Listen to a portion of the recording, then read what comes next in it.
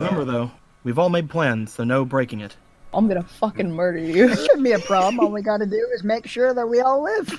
Jesus Christ! I'm determined to live past this. I have to see my sister again. High five!